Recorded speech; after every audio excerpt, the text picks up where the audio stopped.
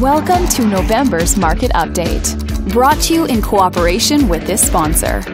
Let's take a look at residential real estate activity in your area during the month of October.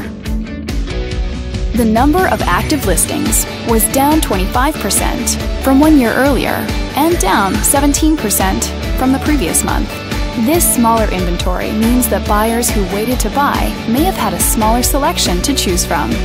As you can see, the median listing price for the month was just under $280,000. Compared to last year, the average number of days that units spent on the market before being sold was down 3%.